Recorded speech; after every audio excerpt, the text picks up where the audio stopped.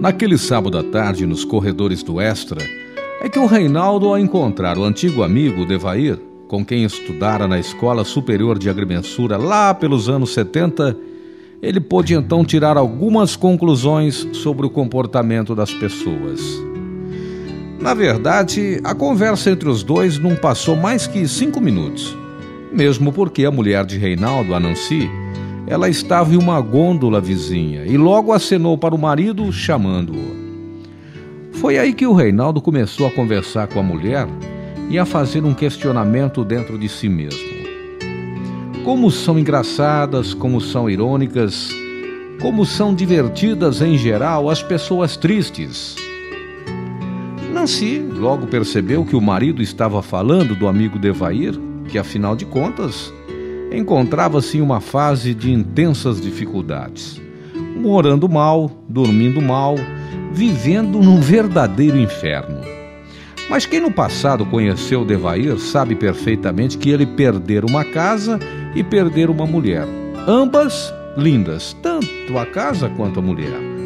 E na montanha russa da sua vida, acabou perdendo também a casa provisória e as mulheres provisórias que vinham enchendo suas horas. Nada, na verdade, comentou o marido com Nancy nada mesmo vem melhorando o ânimo do Devair. E sabe, mulher, disse Reinaldo, o Devair falou que está tendo não apenas medo, mas também sente um horror quando chega o final de tarde. E o caso do amigo Devair, a sua vida, a sua situação, tornaram-se então o assunto do casal desde a saída do extra até a chegada em casa.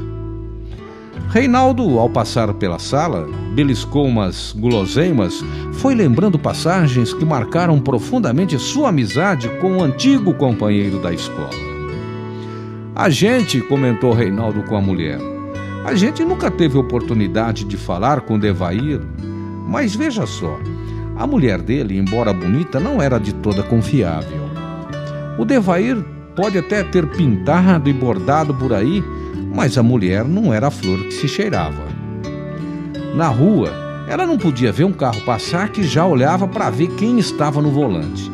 Se o telefone tocasse em casa, ela corria desesperadamente para atender. Ela queria ser a primeira. Por tudo aquilo que o Devair lhe oferecia, a esposa efetivamente ela não tinha competência para lhe amar.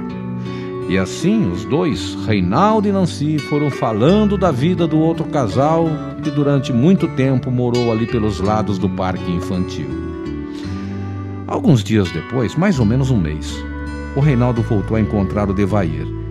E logo neste encontro veio a pergunta: Como vai, amigo? Que nada, respondeu Devair.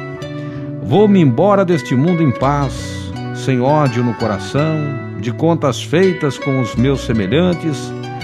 Acho também que com as minhas obrigações mais ou menos cumpridas, como dizia a gente da minha terra, na medida das minhas fracas forças.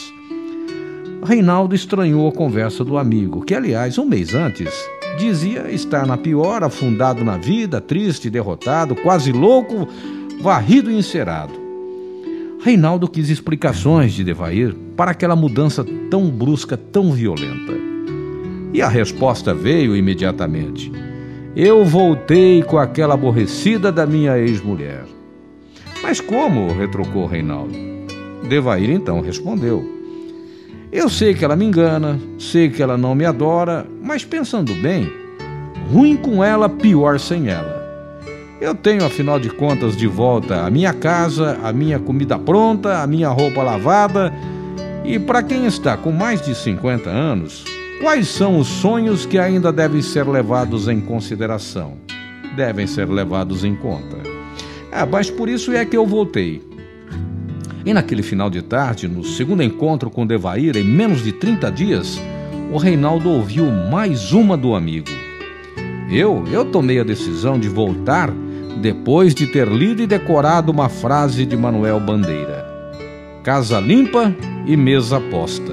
Isso mesmo, casa limpa e mesa posta.